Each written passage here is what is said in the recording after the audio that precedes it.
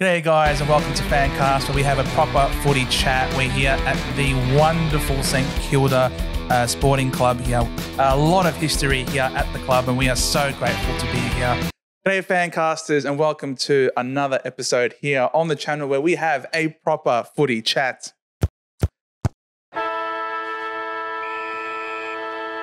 Yes, guys, we're here once again in the glorious St Kilda Sports Club on the bench. Thank you, Dave. That's what this is called a bench, not a sofa, not a couch, not a chair. It's a bench. And welcoming here to the bench, we've got, of course, Marcus from the Old Dark Blues. How's it going, man? Hey, mates. Thank you very much for having me. It's an absolute pleasure. And uh, in this environment as well, it's great. Oh, Love it. mate, it's awesome. We are very, very lucky to be here. Much, massive shout out to you, Apollo. You're an absolute superstar, Dave, of course.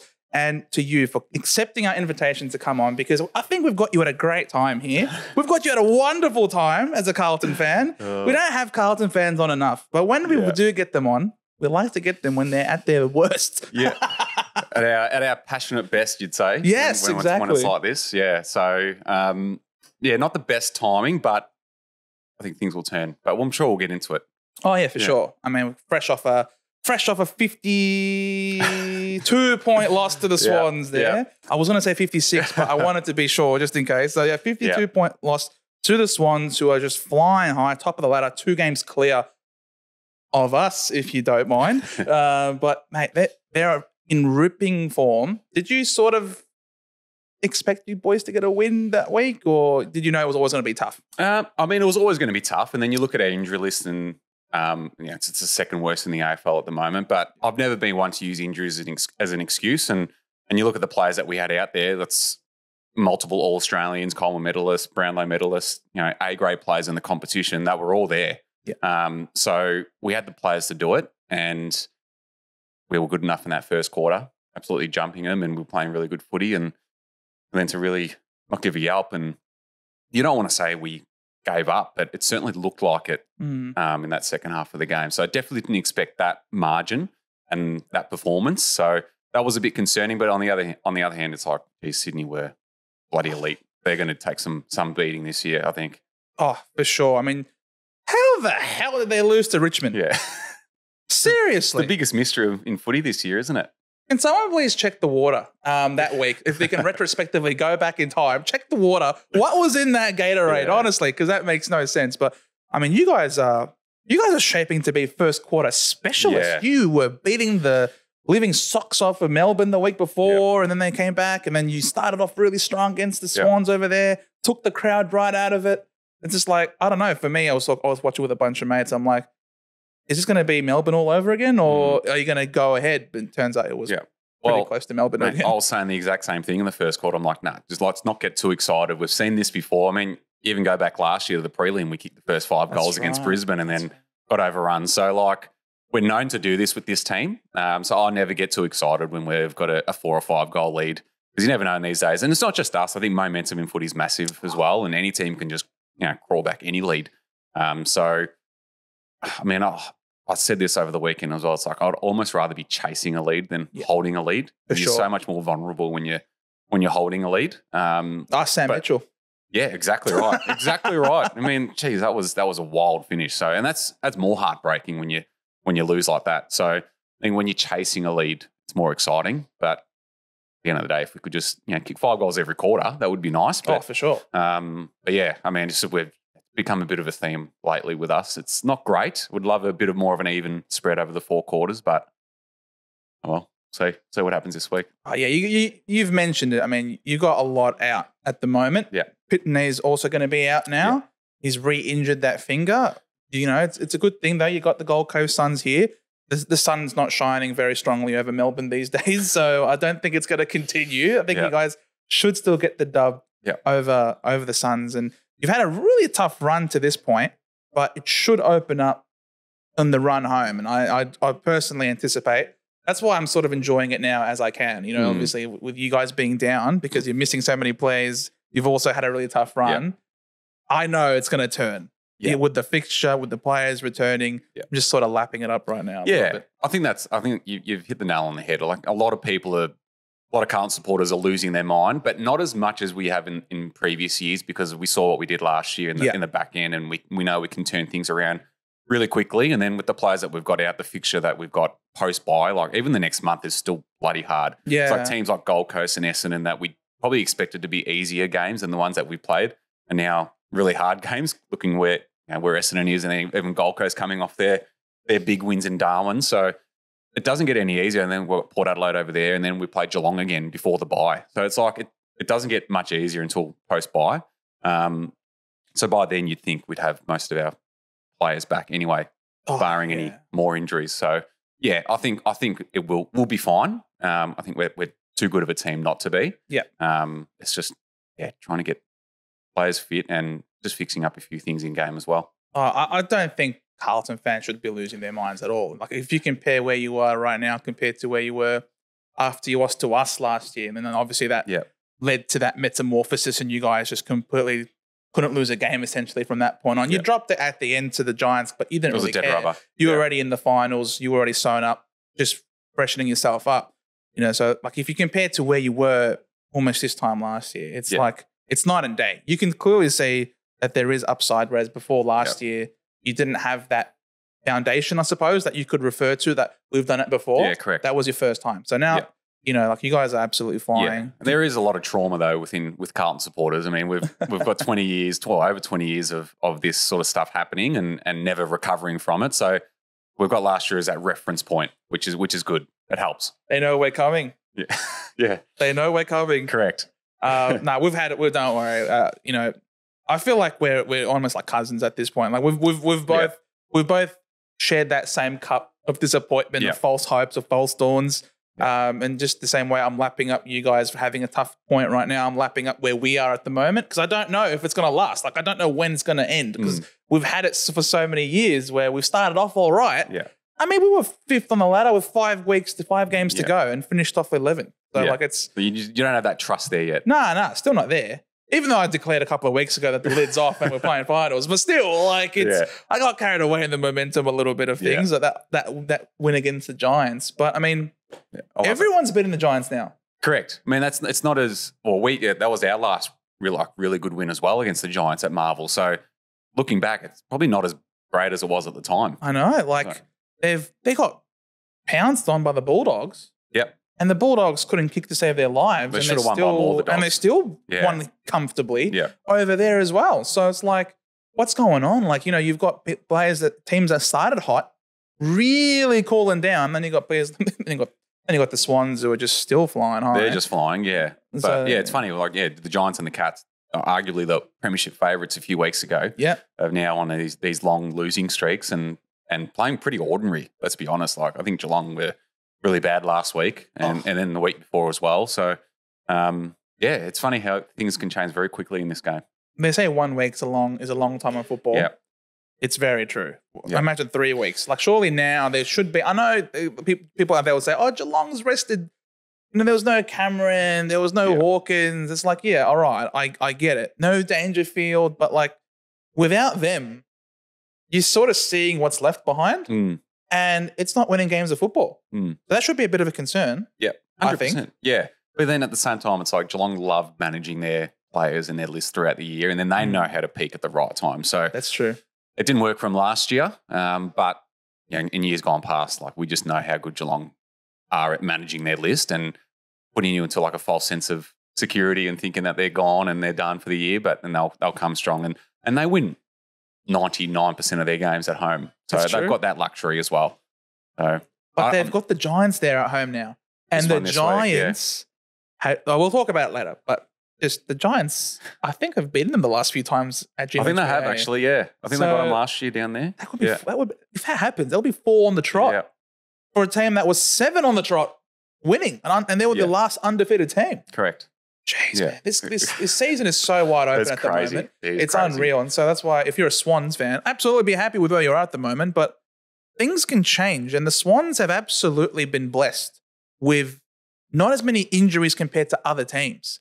So, yes, obviously they had no Tom McCartin in the last couple of weeks. I thought, you know, him being out would have given you a lot more of a sniff with your powerful, dynamic forward line. And it looked like it was going to be that way. And then Harry McKay just forgot how to kick goals again. How did he miss that sitter in front of the sticks? Yeah, that, again, that you, know, you speak about trauma that just brought us brought us back to last year when Harry was missing all those all those goals. But then he's had such a good year. He's He been has. he's been incredible this year, Harry. So it's like you can probably give him one or two of those classic missed shots that he does, but. um, yeah, it just it just hurts, especially against a good team like Sydney, and you're trying to capitalise and kick some important goals. And when Harry does that, it, it really hurts. And then he kicks one from outside fifty beautifully. So I think his range is he's better when he's further out from goal, which is funny. But Mm. um, but you'll take that from Harry. I think he's been sensational this He year. He has been unreal. I mean, it's it's I've noticed that is the same for Jake Stringer this year for us. Like Yeah. puts Jake Stringer set shot 25 meters out, 20 meters directly in front, he'll miss it, he'll blow it. And, Yeah. and I'll call it. I'm like, oh no, this shot's way too easy. Hmm. Jake has to be hammed up on the boundary line, 55 meters out, and he'll kick Yeah. this drop punt and it will sail through. And he did Hmm. against the against the Roos. He did it. But then he missed the other ones so close. Like it's it's like look, you Yeah. gotta take the good with the bad. Yeah, correct. You have to. Yeah, I mean, everyone raves about Charlie Curnow for us, and he's Yeah. like this crazy. Well, he's a crazy forward, crazy player. Yeah. but he he does silly things from time to time as well. So I think it's you just got to yeah you got to take the good with the bad, and um, they're outstanding players at the end of the day. So and not every player is going to be hundred percent Oh. conversion rate. So No, 100%. um, but yeah, and you can speak about Stringer. I think he's been having- a sneaky good year as well. He has been absolutely. He's um been a major reason for why we've been doing all right. Been throwing him on the ball a lot more. Um, just providing us some grunt through the midfield. I mean, it's it's contract year, Jake Stringer. Mm, yeah, You know what I mean? Like Essendon, every- Essendon, don't let him sign that contract yet. You got to keep him playing good. He has to earn those dollars. Um, oh, speaking of someone who has to earn their dollars, now this person I don't think is going to be earning dollars anytime soon, and it's Tarryn Thomas. Yeah. he's he's done so. I reckon. Yeah, absolutely. I think with everything that's been said recently in in society, really, and then with the the stand that the AFL took the other week with Yeah. the, the minute silence and everything, and Yeah. their their stand on domestic violence, I think it's just it would be the biggest double standard if they were to let Tarryn Thomas play. Um, it would be an embarrassment really to the 100%. AFL if they let him play. So super disappointing, you know, for him and um and yeah, and the people that are involved. Like just yeah, it's a terrible situation. The AFL also stepped in to stop uh, Wayne Carey from getting Yeah. elevated to, I think, legend status. I Think think it legend, yeah. was um, out there at the SCG also around that time, which was really good. And now the AFL has come out, issued a statement today that pending investigations and pending the results of what's happened, is not allowed to be an AFL footballer. And that's the type of stance that we need from the AFL. Yep. You got a platform, you've got a position, and you're in a, you know, you've got the ability to actually act, not just simply have words in terms of we need to do this, we need to do that, but actually putting your front foot forward, knowing that he's a very talented player. Despite him putting bums on seats and therefore money in the pockets, still there's more to life, there's more to the game than just the money things. You also have to walk the walk. Yeah. So well done to the AFL. Yeah, absolutely, hundred percent. And you think, I mean, it's hard to compare workplaces and things like that. Like, and a lot of people do, but you know, if he was in any other work, it'd be like there'd be there's zero tolerance to that sort of stuff. So I think the AFL need to, yeah, be stronger, and, and it seems like they are, which is good. Good to see. Hundred percent. Um, you know, someone else who needs to be stronger. Uh, not even just one person. The whole mob of you. The St Kilda Football Club. What is going on over there? They need to, they need to toughen up, don't they? yeah. What is going on? What is it's? I mean, we, we, no one probably expected the Saints to be a a top four or a top six team. Nah. I think everyone probably expected them to drop off a little bit and not play finals. But geez, to be in, I think they're, they're bottom four. I think at the moment. So They are. to be all, they're very close to it. Um, and they're just not playing great footy Oh, either. sorry. Fourteen. 14th. I mean, close enough. Close enough. Yeah. And they're just not playing inspiring footy. Um, they're just really hard to watch. And I'm sure the Saints fans can agree with that. They're, Oh, they're, all, they're all pretty fed up with it too. So, I mean, it and puts more pressure on, on Ross Lyon if there is any pressure. I don't, doesn't feel like there is, but I think there should be. Honestly, if- if if Ross wasn't who he is, it'd absolutely be under so much more pressure. Yeah. I mean, we sort of spoke about this a little bit off air. The steak knives were out and being absolutely sharpened this time last year with, with Voss. Yeah. Like when, when Vossi was having that rough patch and everyone was out, you got to sack Voss. He that can't do it right. Just simply get someone else in there. The list is better. And they sort of, they axed Ratten. thinking that hey, we're going to get our guy in, he's going to Yeah. turn the club around. They've recruited, they've brought some people in. I know they brought Henry in, played his first. He came back from injury a couple of weeks ago, but it's just like they're just not firing. They just can't kick a winning Mm. score. Yeah. I think it probably comes back to that messiah approach that it just doesn't work. Yeah. And it, it's never worked historically. Has never worked, especially in the modern the modern era. Um, I mean, to a, a certain extent, you look at, at Clarkson. It's like you know people were probably expecting an instant fix with North Melbourne. That's Mm. probably not happening, and he was coming under a little bit of pressure as well this year. So obviously different spectrums, North Melbourne and St Kilda. But Yep. yeah, just think you know when you when you go to sack a coach to bring someone in, it's like you know it's like you're, you're cheating on someone because but you've got this backup option. You know, it's like it just it's not a good look. Um, so just that it's never worked. I mean, I know it firsthand with Carlton. You know, Yeah. Ratten got sacked, funnily enough, for Mick Malthouse. Yeah. So it just doesn't work. yeah, like we era. and we we uh we didn't keep Bomber Thompson on, at the helm. We brought back James Hird Mm. when he was when he had his suspension, and I don't want to speak more about what happened after that. All right, let's uh, let's just, uh, let's keep the trauma in the past, shall we? Um, but like hundred percent, um, you look at. I want to say this, mate. Hey, uh, Ross Lyon, how's the vibes over there at St Kilda, mate? Oh, the vibes. He wasn't feeling the vibes when he was coming to the Bombers to, to see whether or not he wanted to get the job or not. He just didn't feel the vibes. Mm. Wonder how the vibes are like at St Kilda these days. Just uh, checking in, asking for a mate. That's all. Um, I'm sure we're very glad not to have you. Is all I'll, is all I'll have to say. We got Brad Scott and we're flying at the moment. So yeah, St Kilda they really need to work on that ball movement. They need to get some bounce. Mm. Um, and you just feel like there are other teams that are also in a bit of a rut. You sort of mentioned Geelong. Can't discount them because they're Geelong. They've Mm. done it time and time again.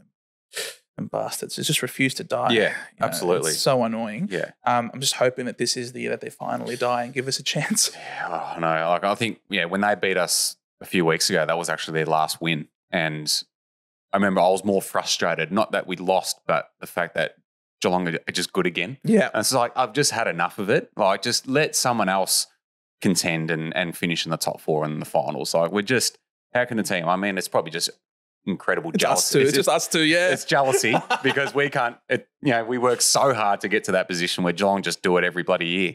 Um, so yeah, I mean, who knows? Who knows? Again, we're not going to write them off at, at round eleven, but things are looking good for the rest of the competition if they continue this form. we're not writing them off, but we're hoping them off.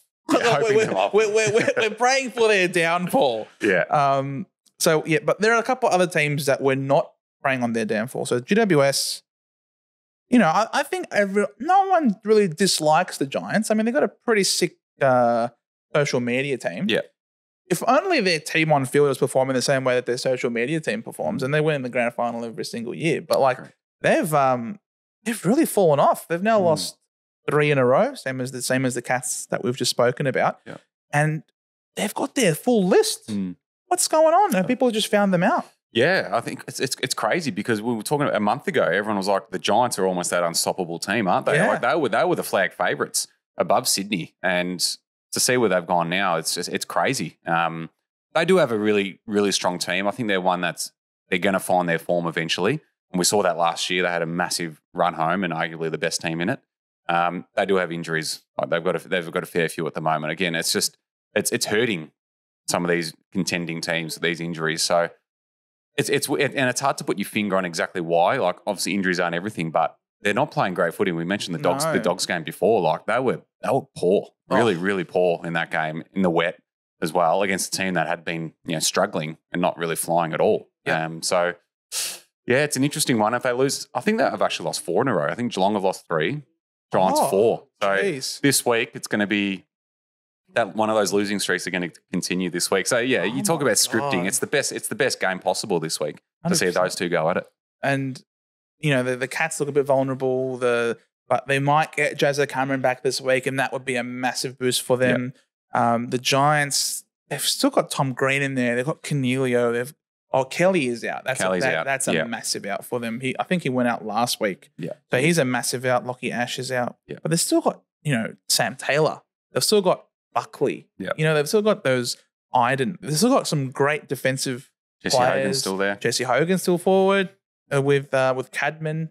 Um, I think the big one is Toby Greene. He's just not. He's not in form. Yes, he's that- the one. He sh- they- it shows how reliant they are on him. Yes. And you saw last year, they through their run, he was arguably the best player in the competition Yep. in the back half of last year. So it shows how reliant they are on, on Toby. And he's he's barely he's barely done it. Like really, he's had no impact this He's year at all. had no impact. He was completely bla- he was completely blanketed by uh, by our Jake Kelly.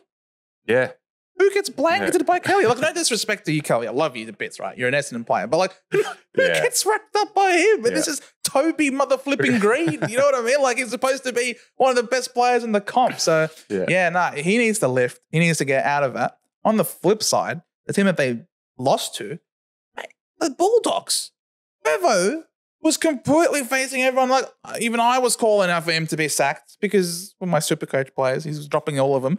So I'm thinking Bevo's got to go under all this sort of pressure. No Libba because of the concussions, and I don't even think Bontempelli is necessarily lighting everything up, and yet Mm. they're still getting the job done now, back to back weeks in in pretty fine fashion. Have the Bulldogs finally turned a corner, and we couldn't see them make the eight? It's, it's yeah, they're such an interesting one, aren't they? Like they've got, I think they've they've got enough good players in their team that they're going to have these these wins, these crazy wins that people don't expect. But Mm. then they've got this, they've got this in them where they just drop games to the bottom four teams. They're just the most fascinating team. Um, but they've got they've got Sydney this week on Thursday night, so that's going to be. I think if they knock off the Swans, Oh shit! then look out. I think the dogs are back in town. But yeah, they're they're just such an interesting team. I mean, they've got yeah, everyone knows about their talent, Yes, so they're capable of, of really beating anyone. It's Correct. just whether they put it all together and, and do it is another thing. So, but yeah, I think the Bevo criticism is probably a bit. It's a little bit harsh, but I can see Mm. why. I can see why people are coming for him. I just personally thought it was absolutely unbelievable that he would drop Ryley Sanders and just relegate Yeah. him to VFL because he's cracked the shits from being subbed off. Like the kid's having a decent game. You've said that he's the he's the most ready first year player to enter into the AFL. And he's had someone like Bontempelli in the team. And then he's just gone and subbed them out twice in the first Mm. Yeah. month of football. It's like, what are you teaching the kids? So um, yeah. you know, Bevo is an extra, a very eccentric character. He is. Um, you know, it- no one really knows how he's what's going on in that mind of his. A little bit like Kevin Sheedy, almost like just a bit of a loose unit. Yeah. But um, someone who's also, well, not even someone, but a team that's being a little bit loose at the moment as well with their football. Melbourne. Did Mm. they go to West Coast thinking we got this? Yeah, but they're an interest, another really interesting team, aren't they? I think they're probably pretty similar to the Bulldogs, where it's like they their best is so good, Yeah. but then they've got this in them where they just drop these weird games and then they play absolutely terribly. I think I've got a lot, a lot of Melbourne mates, and they're they're very fed up with how they play at times. You know, where they oh, yeah.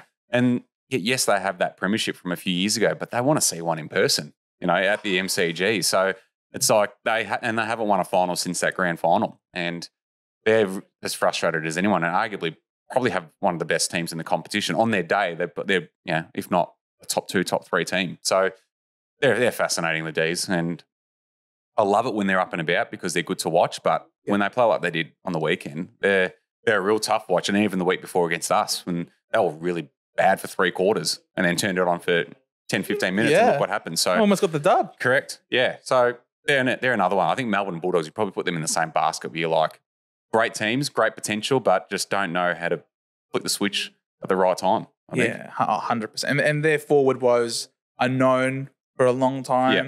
Just who's going to kick this? Who's going to kick a winning score? And it just seems like this year, if you want to win it or you want to go really far, you have to be able to pile on the scoreboard and make and take full advantage of momentum because momentum swings are so wild in this game.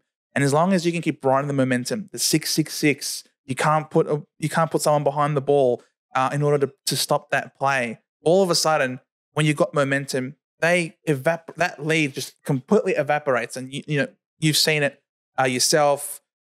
Conversely, if you're on fire and you're on top, it just completely compounds. And then you've also seen that from last week.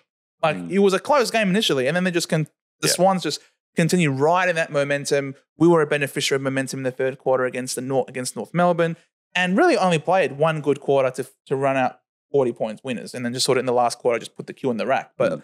you know, being able to to control momentum a little bit as well as ride it. I think the best teams are going to be the ones that can manage that throughout the rest of the season. Yeah, hundred percent. Yeah, you hit the nail on the head. I think it's it's so good for the competition that we've got this happening. Not good for when your team's in the lead, but it's it's great for the competition and it's good for just a general fan when you're watching a game and you're like, oh, a six goal lead at three quarter time. No, I think that team can reel it back. Yeah, yeah. Um, it's exciting. It makes it it makes it more fun to watch. And you know, days gone past when you're like a, a six goal lead going into the last quarter is probably enough, and a team would put the cue in the rack and maybe barring a, a team like North Melbourne, no disrespect to North, but yeah, they're probably not going to hunt down that that sort of lead. Um, but it's great when you yeah two teams are playing against each other. You, know, you look at yeah Carlton Melbourne the other week. That that's a prime example of it. So Mm. it's good for the competition. Not good if you're leading, um, but yeah, good for the comp. All disrespect to North. You guys Yeah. are shit. You guys are terrible. You guys have a big rivalry with them. no, no, they they, they, they, they want to make a rivalry out of it. Yeah. Uh, We just well, they like need someone to have a rival with. We just like we just like the you know uh, North it's a friendly rivalry. Yeah, yeah, it's like a little brother. Oh, yeah, nice of you. Very nice. Yeah, yeah, you can have a rivalry. But um, yeah, no, momentum leads. You would think surely an 11 point lead with 33 seconds on the clock would be Yeah. enough. Surely. 11 points, 33 seconds. How could it possibly go wrong? Mm. How could it possibly go wrong, Sam Mitchell? Couldn't have happened to a better bloke. Stuff you, Sam Mitchell, with your with your jabbing Oh. thing. Yeah, you can get stuffed, Sam. I'm so happy. Um, it could not have happened to a better bloke, honestly. And then you look at, and I hate Sam Mitchell. Absolutely hate. I'm sorry. I'm, I'm saying No, Sam. Mitchell, you are a flog. All right. Now you look at someone like Trent Cotchin. Trent Cotchin comes out the other week and he says, when he was called the Brownlow medalist, and he said, Oh, no, no, it's a token Brownlow medalist. I don't believe I've won that medal. You ask Sam Mitchell that question. The guy's like, Oh, yeah, Jobe Watson's a cheat. Jobe Watson and that. The, Essendon players deserve to get what they got. Piss off, Sam Mitchell. That's poor form. You're an absolute flog and you deserve to lose every single game for the rest of the year. Thank you Oh. for attending my TED talk. I love it. I love it. I was, I was funny. I was about to say I really felt sorry for, for Sam Mitchell and the Hawks You after stuffed. watching that. you can get stuff. we've got the complete opposite opinion of it. Um, but I understand your your history with with Sam Mitchell and and the Hawks as well. Obviously, another another big rival of the Bombers. But um, I mean, yeah, like Hawthorn did. They did nothing wrong that game. They were so good until the end, and you can't be blowing an eleven point lead with thirty seconds left. Like that is that is a very harsh way to lose. And it would have been great for for us to see Port That's drop true. drop points as well. That's so true. um, but yeah, I mean Hawthorn won. They've they've really turned the corner after you know a few weeks ago where they just couldn't get near any team. They were on that the same page as a, a Richmond and a North Melbourne. So they've really come up. Them and West Coast have really been the big improvers over the last few weeks. Oh, it's been a, they've been a bit of a surprise package for sure, Yeah. um, hundred percent. But like you say, they haven't they didn't do much wrong. That entire last quarter was as wrong as it possibly. Oh could yeah. I- I- Yeah, that's what like, I mean. Like that yeah. last quarter was they was they half an hour of just yeah stupidity. they shit the bed in the last quarter. Oh. But that was so good in the first three. Yeah, And they were, like, yeah. they were going to pull off a great win here, and which is why it's ridiculous. That they were so they sh- dominant. they shouldn't have lost that. No, no, way. no, they were so dominant for those first three quarters. Why would you go away from what was working so well? Like the Port Adelaide power, bro, it was like as if there was no power. Mm. There was a complete power outage. They couldn't get anything going. There was no spark. It was just all Hawthorn. Yeah. They managed only like 10 scoring shots Mm. up until three quarter time. Yeah. It was such a comprehensive destruction. And then for them to go away so completely from that to Yeah. try and defend a lead. There's no such thing as defending a league in the Mm. modern in the, No, in the there's modern not. game. Exactly. As, Yeah. as you were saying before, it's Yeah. all about go, go, go. Yeah. Keep going, keep capitalizing. And in the end, the Hawks should have lost by more if it wasn't for Port Adelaide's inaccuracy in the Yeah. last quarter. Yeah. Yeah. So that would have been a, a horrific turnaround from being 41 points up to losing. I think rather than being two goals, uh, eight, I think, uh, expected score had them being seven goals, three Okay. in that last quarter. Yeah. They would have. Yeah, they would have run away with it. Yeah. Oh, it would have run away by so, by so much. That would have been over a 60 point turnaround. Mm. So, um, copy that. Copy Yeah. that, Mitchell. I mean, again, it's it's probably just a young team, isn't it? Not knowing how to manage a lead in a game like that against a good team. So I think if it was an if it was a, a more experienced, classier outfit, they probably would have hung on. But yeah, a bit of learning for the Hawks, I think. they got to learn a bit from from Collingwood because uh, Well, they're the kings of it, aren't they? It, it pains hurts, me. It hurts to say. Yeah. Bloody Collingwood, freaking. I want to say what I want to say, but I'm not going to say it. Um, they managed to escape with another one on the weekend. Yeah. Escape from the Crows. Yeah. Izak Rankine. He went from hero to zero, Mm. being pinged for running 24 meters. That's a lot. Of, Yeah, that's a lot to That is run. a lot. I didn't feel. It didn't feel Nah. like it. Nah, watching it live did not feel like it until they did the the review about it. Um, God, he's a good player though, Rankine. I thought he was going to really rip their hearts open. He was he was on fire. Um, it's just it just feels like Collingwood always get lucky with these things, don't Every they? time. They do. That's just I don't get it. It it, it ah, Is Eddie McGuire still somehow feeding money Yeah. to, to, to people? Like, who wants to be a millionaire? He just starts just shoveling money out to people because Collingwood just continue to. They are actually the luckiest team in the AFL. I don't even care. They were in shambles with their list management. Absolute shambles. The salary cap issues, just the fire sale of all these players. And of course, in comes Peter Daicos' sperm and resurrects this team. Hmm. Yeah. And they go from second last to essentially second in one year, and then on to a, a premiership. So it's crazy. It is crazy. And then they they won all their games in 2022 and 2023 by the same way that they did on the weekend. Yep. And it's like obviously they're a good team because they you know, you've won a premiership and you make a prelim. You're obviously a good team. It's like how good are they? Because you're just getting over the line in 95% of your games. Correct. So it's like uh, your luck. Your luck has to change, doesn't it? Like Surely. it has to. At, like at some stage, like someone just get on the other side of him. Like it's it's it's really obviously we we have a, a very similar feeling about Collingwood, so you can tell. But it would just be nice if they experience what we experience losing those those painful ones because I feel like Collingwood always beat us painfully. When we beat them, it's a bit more comfortably. So, oh, they yeah. I could talk about it all day. My my frustration with that. our draw looks really good now all of a sudden with them because they were starting to get the ball rolling, their momentum flowing again um, when they came up against us. It's looking really good now, Mm. actually, in terms of the form, who they're who they're beating, who they're playing against, uh, and some of these results, like you know, we mentioned that the, the Giants result maybe not might not look as good as it did otherwise, but that West Coast win by six points over Yeah. there is now looking really good, and Yeah. which is surprising. Like, you wouldn't think beating West Coast over there uh, at the start of the season was going to be such a monumentous feat, but you just now you go ask Simon Goodwin, what do you reckon? He'd be like, yeah, Yeah, I'd correct. take, Yeah, yeah. I'd gladly take a six point win over over West Coast now. Correct, absolutely. I mean, would you apart from the Giants game, would you say that's probably your best win in this stretch of games? Probably is, isn't it? Yeah, like it, it was a real banana slip, a, banana peel game because you could Yeah. easily slip over. Yeah, That they were up and about. They got Harley Reid back after he was rested. yeah, Obviously, during that game, Elliot Yeo went down, which was probably a bit, you know, Yeah. more beneficiary of that. Waterman, I think, also got injured late in that Mm. game. Oh, Waterman, Jeez, oh mate, he needs some credit, doesn't he? holy Put some shit. respect on this guy's name. Where did he come from? Yeah. Where did this come from? Equal top of the Waterman Coleman. Crazy. Whilst playing less games. Yeah, He's Yeah. just like unstoppable. Yeah. What's the thing? He's plugger or something. He's, He's playing like him. He is absolutely. He's got some of the best hands in the competition as well. Unreal. Doesn't drop anything, and he's deadly accurate. Yeah. never misses. So it's great. It's great to see. Like I love it. I love that West Coast has all of a sudden just popped up out of nowhere. Everyone expected them just to be like be like North. Yeah. Really. So they've um they're going to be a hard team to beat for most of the year. They're probably not going to obviously challenge No. for the finals, but they're going to be hard, bloody hard to beat. It's not an easy game like it used to be, or yeah, definitely last year. That's for sure. Oh, man. It's because he's popping off. Uh, Elliot Yeo's popping off Yeah. now when he's fully fit. He's you can see how much the the, Cro- the the Crows, the Eagles missed him, and also one Harley Reid. Now I I don't know if you guys have heard of this guy before.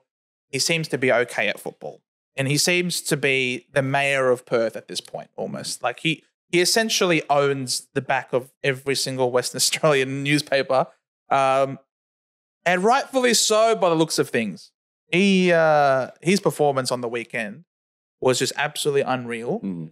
Of course, I traded him out of my super coach team that week. Uh, that week, so he just decides to say, uh, "Stuff for you, Joe.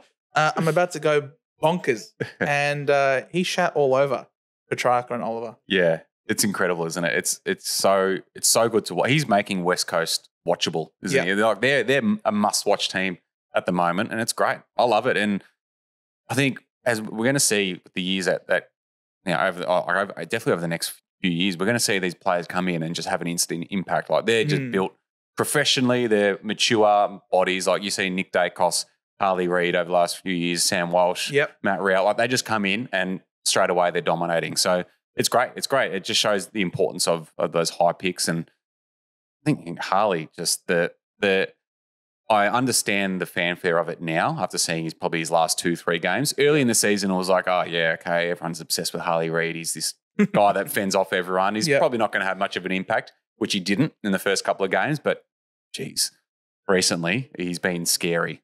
That goal Was unbelievable. that has just made the rounds. Is that goal of the year? It could be. it could be Yeah. the solo effort. Yeah. essentially from the middle, gathers from the clearance, hard ball get, bounces three times, running away from Christian Petracca, if you don't mind. It's not just, it's not some uh, Cal Dawson or something. Like he- he's running away from Christian Petracca. Yeah. And he's made him look slow. Uh, Petracca could not close the gap until the very end when he was about to steady himself up for the goal. That's unreal. Yeah. Oh my Yeah. God. And then he also did the double fend off. Mm. I thought, oh no, Zach Merrett is going to be a poster boy forever Yeah. now with the fend off. But thankfully now he's got a more high profile version Oh, now. He's going to have a- One for a, Oliver, posters, isn't it? One for Petracca. uh, he's- if he's not doing a double fend off, he's taking a screamer. Yeah. He's not taking a screamer. He's kicking a goal. Yeah. He's just doing it all. He's he's got it all, and it's it's scary to think what he's going to be like when he's 23, 24, 25. Like, how crazy is this guy going to be in a few years' time if he's doing all this stuff already? So it's it's great for the game. I love it, and it's great for West Coast because everyone's like, oh, Harley, he's going to hate it up there. He's not going to do well. He's just want to come home. But Yeah. I can see him being there the whole his whole whole career at the moment. He, he seems like he's really really loving life.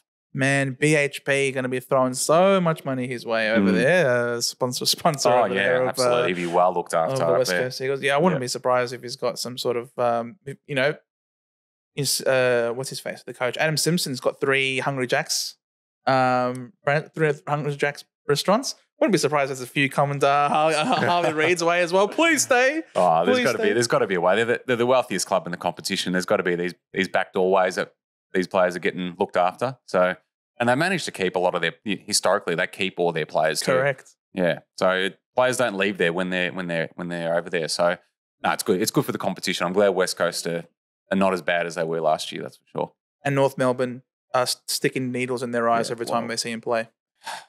Is that could that possibly be the worst win of all time? That game last year against Gold Coast, where they've come off a 20 game losing streak, and then they decide to win when they have Harley Reid on the line.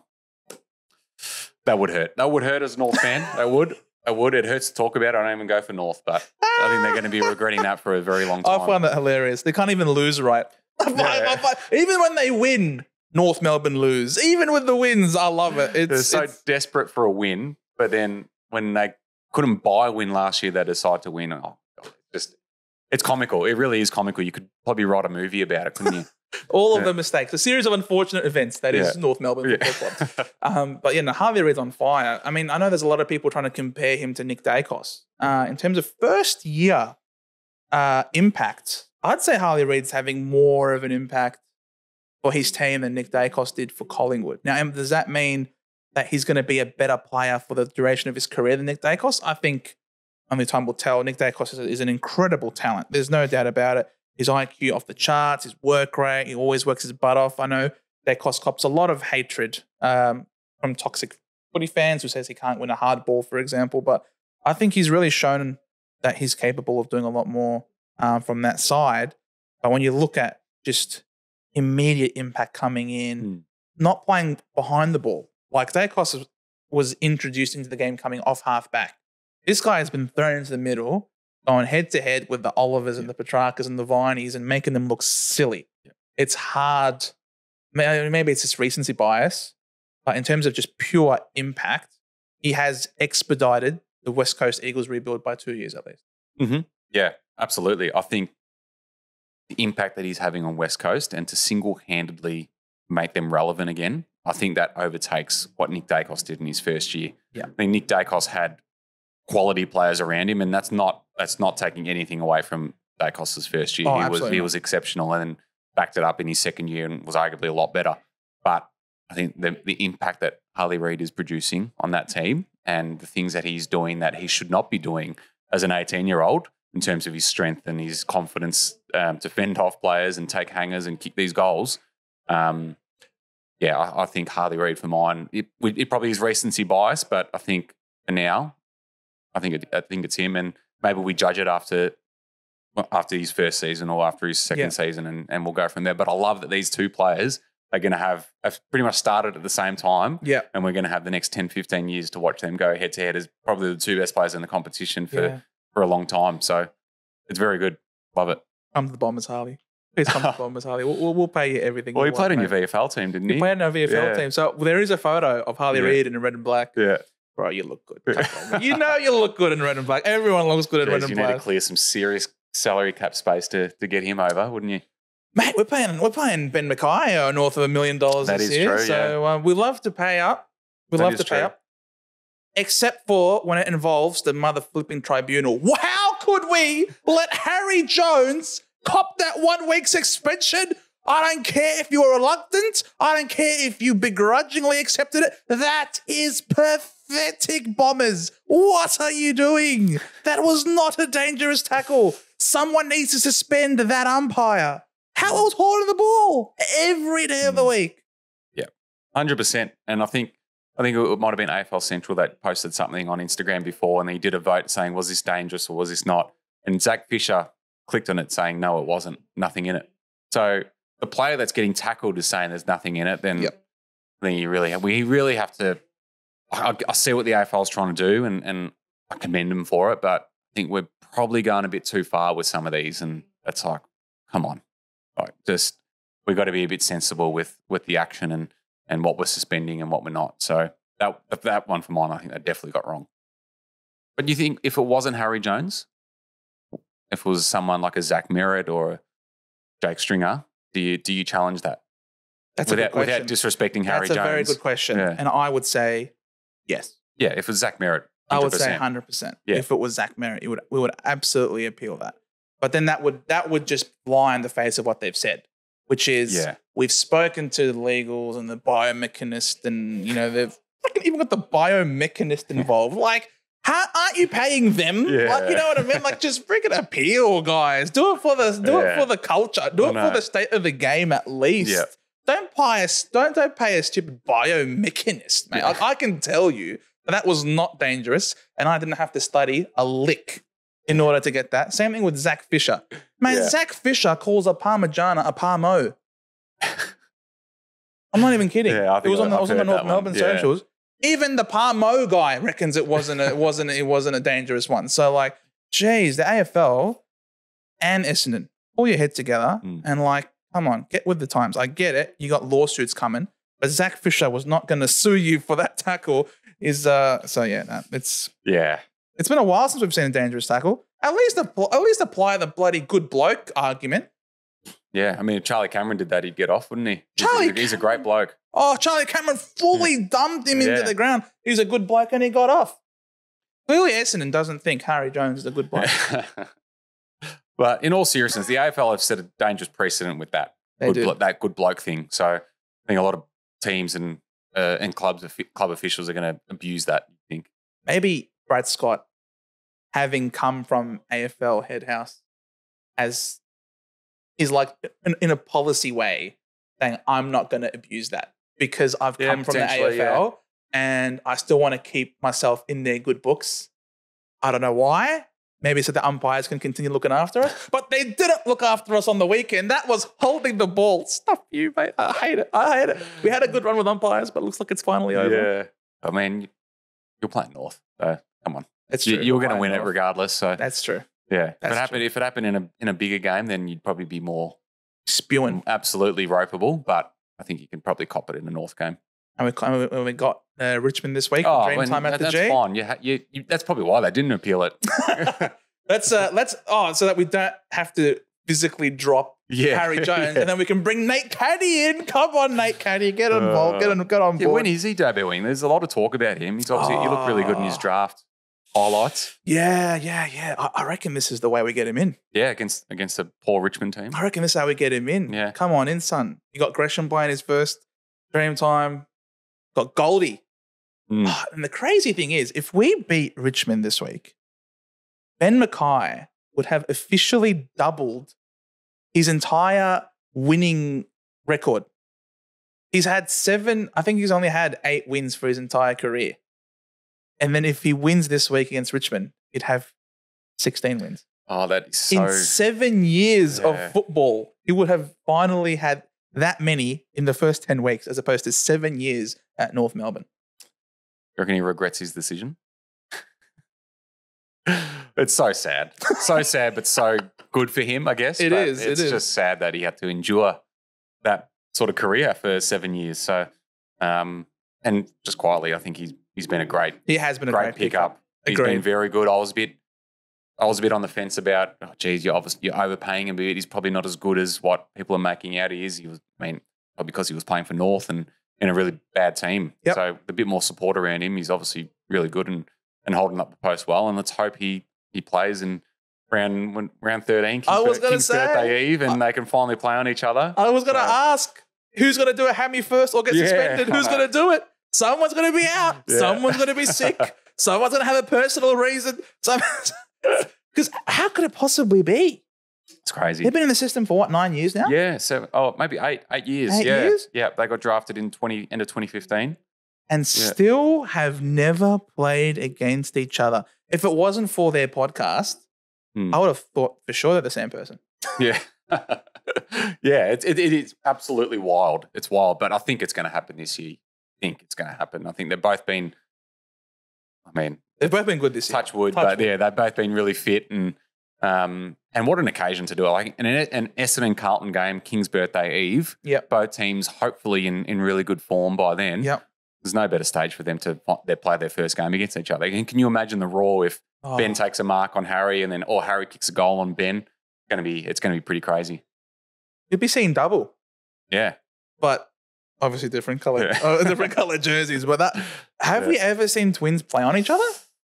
Oh, At least in recent memory? Surely it's happened before, but not that I can think of off the top of my head. I know twins have played in the same team, but yeah, yeah, but against each other against side each by other. side. Yeah, it's going to be wild. That would see. be wild. Yeah, That would be yeah, that would be unreal. And there'd be so many people. It'd be it would be close to ninety thousand. oh, it will be. I think if we both come in with a, well, we need to start holding up air end of the bargain. I think in terms of wins, like you guys are. I think you guys are probably going to be. Yeah, you got Richmond, and then who have you got after Richmond? and we travel north to play against Gold Coast up there. So That, will be a so tough That's going to be if you get through that and win that. Oh boy, I reckon it's going to be. It'll be a ninety thousand crowd at the G. because Gold Coast really making a fortress up north. They, Yeah. I don't think they've dropped a game yet at home. Yeah. and yeah, if we can go up there with the humidity on their desk on their deck and get the and get the win, then that would just really confirm that this is a new Essendon and it's not the Essendon of old. Yeah. Hundred percent. Yeah, if you do that, if you knock them off up there, I think everyone can. If they're not taking you seriously already, I think it, that'll be the one. And then obviously, if, and if you knock us off, then it's like okay, lid lids are absolutely gone at Bomberland if if you can uh, get through these next few weeks. So um, it's it's good for the competition. For I don't. I don't love seeing it, but I'm happy for Essendon to be good if we're good as well. Oh That- yeah, that- yeah. That's all I'll say. Oh, uh, the, there is no doubt that the AFL is at its absolute best when the big Victorian clubs Yeah. are up and about. You just feel the buzz in the city. It just brings life to everything. Everyone's look, looking forward to the games. Mm. And then if we play in finals, like it's going to be unreal. I mean, Yeah. we're drawing crowds to Marvel Stadium of 43,000 people against North Melbourne, Mm. Who are languishing last. Like, At one o'clock on a Sunday as one well. o'clock on a Sunday. You know what I mean? Like, I think that might be the largest crowd at Marvel apart from Good Friday. Yeah. You guys pulled, I think, I 45, think 46? 48. I think it was 48. Around 48, There you 49. go. Yeah. So that, that was huge as well. But then again, everything is closed and there's absolutely nothing it's to do. public holiday. There's literally Yeah. nothing to it do on the Friday. count? Yeah. But, you know, like, Yeah. we can draw massive crowds. And Mm. if we're up and about, then oh my God, that is Yeah. just, that that is peak AFL right there. Actually, didn't you guys um, draw 50,000 against the Bulldogs on the Friday night a few weeks ago? We did. So that's the biggest one. That's so the you really are well. just, yeah, you, People are feeling it. yeah, they are. And People are it's similar to what we what we experienced last year when we Mm. finally were rising from um, from the shit, really. So you you it, it's showing it's showing the big clubs, the sleeping giants of Essendon and Carlton, when they're up and about, the fans. There's no bigger there's no bigger club in my opinion. Collingwood obviously massive, They're but huge. but West they're, al- Coast but they're well. Collingwood are always big. They've always been Correct. good. They've always been good. Where Essendon and Carlton have been been no good for a long time, and now the fans are just wound up. They they want some 100%. success, so it's great to see. And people out there, if you're watching and you're saying, Where's Richmond? You ask yourselves, Where's Richmond? Yes, all right, you had your 100,000 fans in your peak years. Yeah. But like, No, Richmond don't count. where are you guys now? Yeah. Like, where are your fans now? Where, you know, you got Swizz here last week saying, "Oh, thank God we're not playing finals this year." Like, come on, like Mm. it's uh, you gotta if you if you're gonna be truly recognized as one of the big big clubs in this competition, you're gonna have to have the consistent appearances coming to games as a as a fan base, whether you're doing well or you're doing poorly. We've been doing poorly for many many years, and yet the fans continue to front up time and time again. Yep. I like honestly, our fans, even St Kilda's fans, you know, obviously they're not quite as many as us because they're not a, they're not a big Yeah. Victorian club, but we've gone through so many false dawns, and yet our supporters, you know, like massive respect to the both of us, I Mm. reckon. Hundred percent. Yeah, I think that's that's the biggest badge of honor you can have as a club is your fans are going to show up no matter what. And you know, games against you know, games against the struggling North or a Gold Coast or a Giants, I and we had over forty thousand against the Giants at Yeah, Marvel a few weeks unreal, ago. So like it shows, and we've broken our membership record eight years in a row, and we won two games in 2018 Yeah. and still got 60 something thousand members the year after and broke a record. So like that it shows. And then Richmond are bloody closing level four at the MCG for some of their games. Like Yep. it's embarrassing that it comes to that and it shows the big bandwagon reputation that they have is very true. And there's pet memberships. The pet memberships. The pet yeah. memberships. Don't think we've forgotten about your pet memberships, Richmond. Fake, fake big team. Uh, Fake big team. All right. I think we'll take a break right now, guys, and we'll join you on the other side.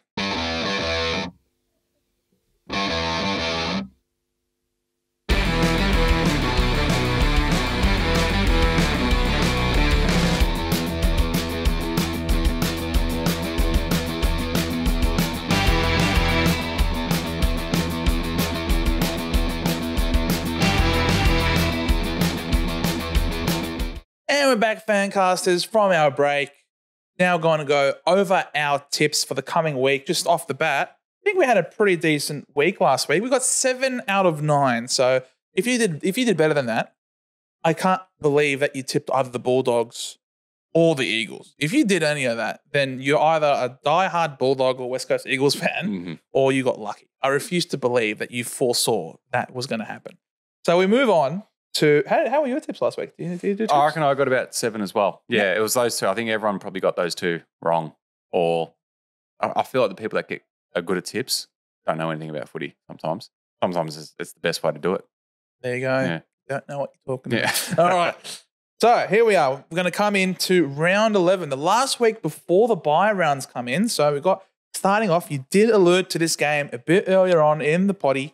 We got the Dogs hosting the Swans at Marvel Stadium. There are some people out there who actually believe that the Bulldogs really are a sneaky chance of causing an upset here. Are you one of those people? I'd love to think so, but after seeing Sydney firsthand last week, they're gonna. It's going to be very hard to beat them, and the Dogs coming off a, I think a five day break in a, in the wet against the Yeah. Giants. Going to be very hard for them, I think, to to to beat Sydney, the, the best team in the competition. So, I think yeah, I think Sydney should should win that. I agree. And also question of if Tom McCartin comes back, it just makes him even better. Yeah. Um, which obviously kind of scary to think about. Obviously, they're going to be without Luke Parker, who's going to Yeah. cop some suspension, but they didn't even need him because they've been flying without him. Yeah, So I think we're both on the Sydney Swans bandwagon over there. We'll then move to a Friday night game. Freo's playing a Friday night game at Optus Stadium, hosting the Dirty Pies. Please, Fremantle. Please, Fremantle. I beseech thee. I'm actually going to tip you guys. That's how much I want you to win. Please, I'm Yeah. going to tip the Freo. I'm going Freo as well. Freo at home, I think. Yeah, I think they're in, in some good form, and I think they'll beat the Pies and, and put them put them just back down a little bit. Back in your boxes. Yeah. Back in your boxes, you dirty pies. now, also, there's there's there are injuries at, at Collingwood. Yep. You know, um, it's not it's not, it's not just just pure hatred here, right? I, I, I, there is a bit of football analysis here. They- They've got a few injuries. They're they're bleeding a few debutants, and Yeah. obviously, whenever you play a WA team over there, it's an entirely different proposition compared to if you're playing them over here. So they're also in great form. They came over here at Marvel Stadium. They disposed of the of the Saints pretty comfortably. And I honestly think that the way they're going to play this game, they're going to try and suffocate Collingwood into a low scoring affair. Yeah. I think. Correct. Yeah. It's not the best way to play footy. It's not the most entertaining, but it gets the job done for them most times. And Yeah. I think they will. I think they'll beat the Pies over there. Come on, Brio. Evo. We then go to Saturday night, Saturday day. So not Saturday night, Saturday, Saturday day. Just Try saying that fast. A lot of times when you have a couple of beers. Uh, North Melbourne are hosting Port Adelaide at Blundstone Arena, Hobart. Hobart. Hobart Mm. makes things an interesting proposition. Not quite. does it? Does it? Sorry, North, you guys suck. Yeah. I mean, stranger things have happened at down in Tassie. So, but uh, uh, you'd be a brave person to, to tip north in this one. we played one quarter last week. Yeah. And won by 40. Yeah. Just just one. What's Yeah. Port going to do? I think if North are ever going to win a game this year, it's probably going to be down there, but it's not going to be against Port. I don't think. Watch this kick. Watch, Yeah. watch this. Watch this clip come back, and bite us both in the ass. I know Jez. Jez will be really happy as a Northman. Sorry, Jez. Just uh, Hmm. not just quite yet. Then move to your boys on also Saturday afternoon, 1.45 p.m. at Marvel Stadium. The Blues are hosting the Gold Coast Suns. You're obviously going to back your boys. Yes, I, I think so. I think it's a game that we one have to win, and two we should be winning, regardless of the form that Gold Coast are in at the moment. And Mm. we've got some players back, and and big one with Adam Saad coming back, and Lachie Fogarty as well, like two massive inclusions for us, and been sorely missed the last few weeks. So um, yeah, I think we we just have to win this game. Essentially, we've, we've dropped too many of late, so I think we I think we'll get the job done here. This is going to be a comfortable win for you. Yeah. This is going to be, I reckon, easily five goal win. I think for this for, for your boys. The Suns have shown that they're really great at home and playing up north, but I don't think they've been able to win very much away from having the advantage when it comes to the the conditions. And they're playing now under the roof at Marvel Stadium. It's going to be impeccable. Your boys, your fans are going to come in. They're going to know that this is a very much a winnable game, and they're going to come in and the, the Carlton faithful are going to absolutely uh, drive this massive momentum. And the, the, the sound of the woof is going to be reverberating through Marvel Stadium. It's going to be a very comfortable win for the Carlton Footy Club. Oh, mate. GMHBA. This is this is the game. We've been talking about this. This is the game. GMHBA Stadium. Geelong, third on the ladder still, despite Yeah, been really bad the last few weeks. They're still third on the ladder. So we have to put a little bit of respect on that name. Hosting the Giants, who are sixth, despite again having a Mm. bad patch. They're still sick on the ladder.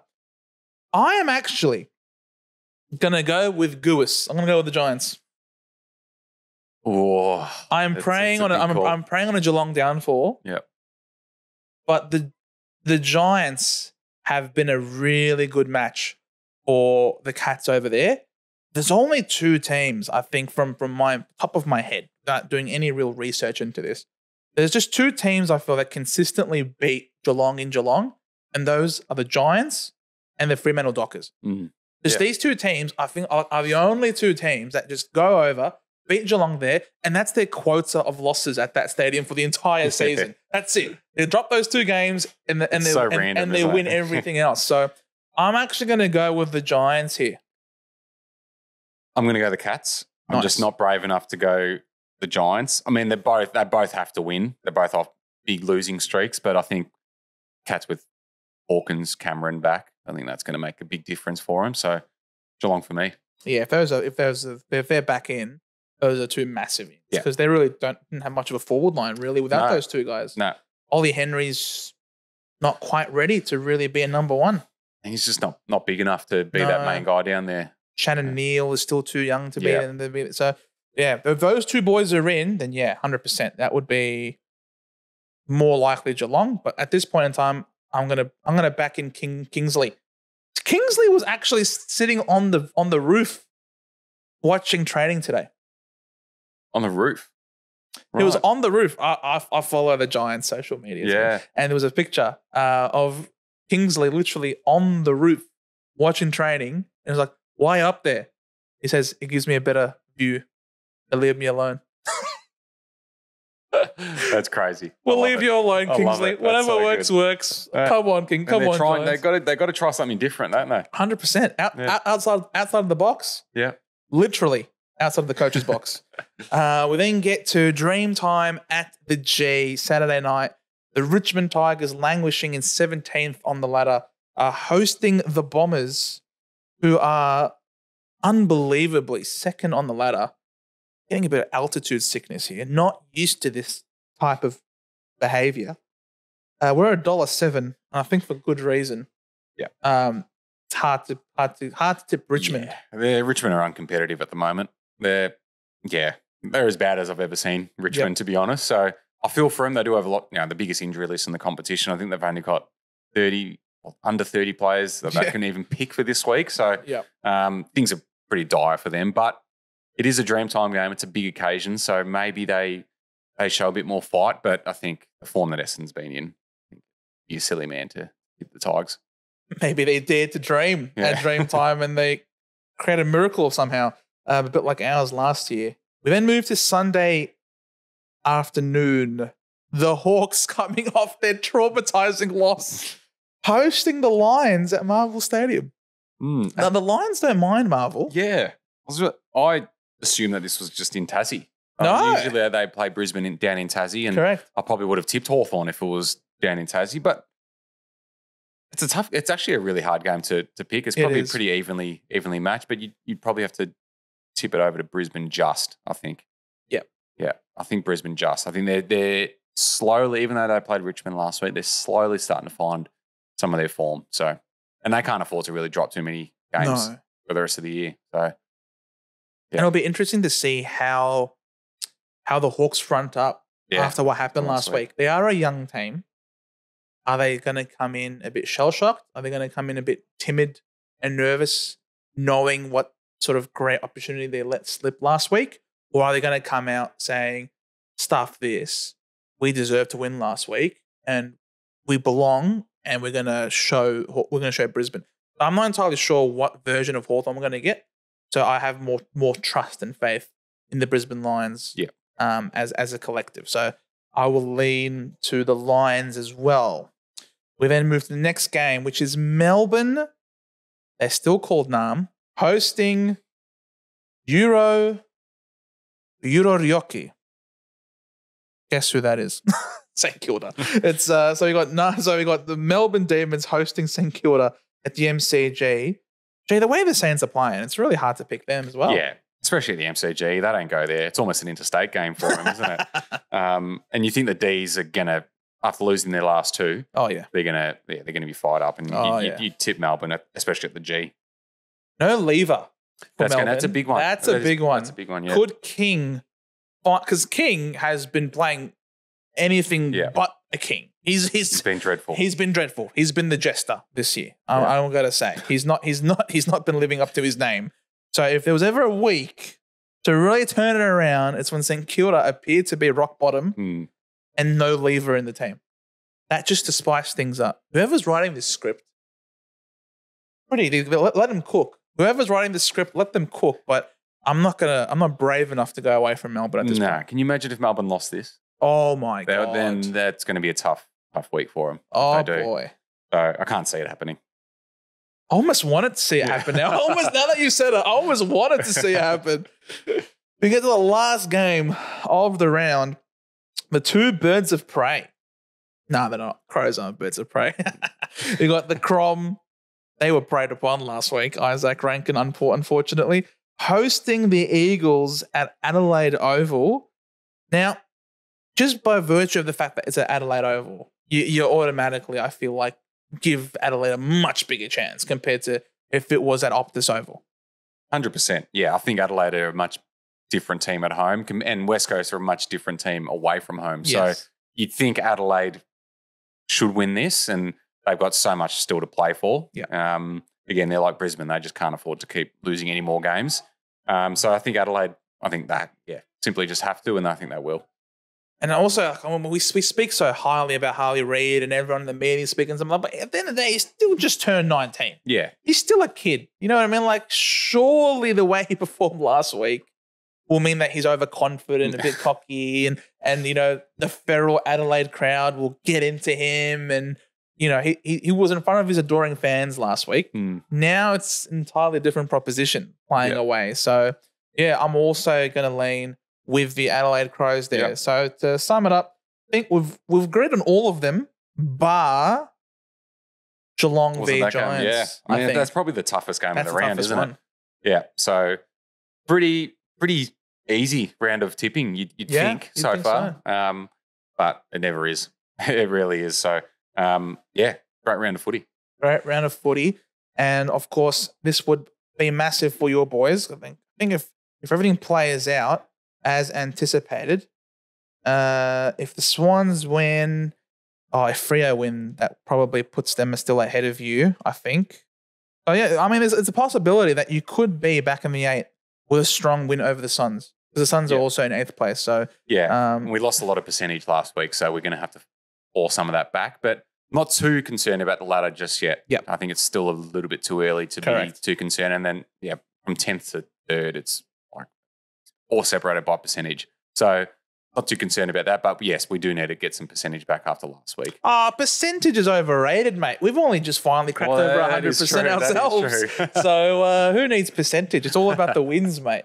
Oh man, it was been an absolute pleasure to have you on, my Yeah. friend. Um, please tell all of our wonderful viewers where they can find you.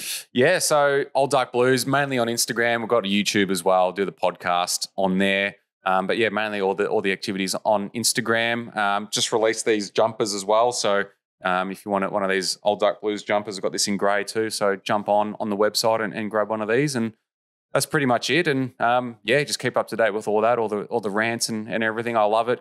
A lot of people messaging me about it. A lot of rants during the week. So um, I try to reply to them all, but um, can't. But there's just so many, especially after a loss. But um, no, I appreciate all the love and support. And um, yeah, if you haven't followed me yet, please do. Head on over to the old Dark Blues, guys. Do yourselves a favor, especially if you're a Carlton fan. Um, you got to get around the boys. They do some incredible work, and you know that's what we try to do here on Fancast. Try and get as many of the fan channels as possible because we are all fans. Um, you know, fans of the Blues, fans of the Bombers, but ultimately fans of footy. So um, go footy, as Kevin Sheedy would, uh, as, as would Kevin Sheedy would say.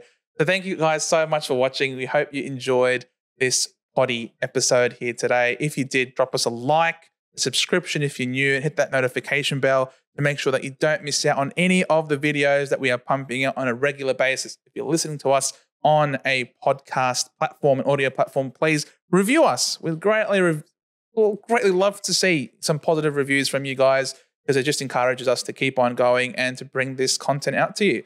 Because here we have a proper footy chat. See you all in the next one. Bye for now.